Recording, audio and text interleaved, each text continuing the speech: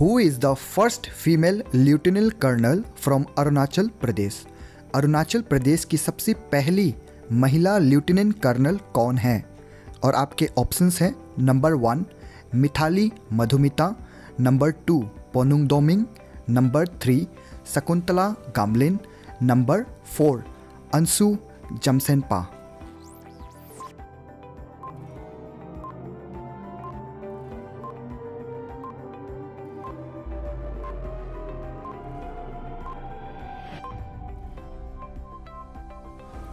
तो चलिए इसका करेक्ट आंसर जान लेते हैं।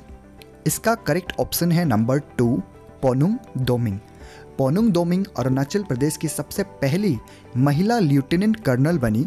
इनका जन्म ईस्ट सियांग डिस्ट्रिक्ट पासीघाट में हुआ था और इन्होंने 2008 में इंडियन आर्मी में एज ए लेफ्टिनेंट ज्वाइन किया था। और फिर 2013 में पोनुंग दोमिंग को मेजर की रैंक में प्रमोट किया गया। फिर 2014 में यूनाइटेड नेशन की पीस कीपिंग फोर्स में भी उन्होंने सर्व किया था।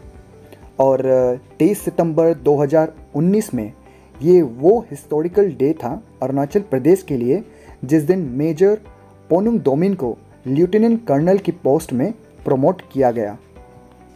उन्होंने अपनी स्कूलिंग, डाइंग इरिंग और IGJ higher secondary school Pasighat से की थी।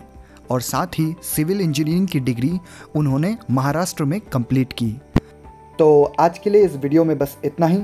अगर ये इन्फॉर्मेशन आपको अच्छी लगी तो like, comment, share and subscribe ज़रूर करना।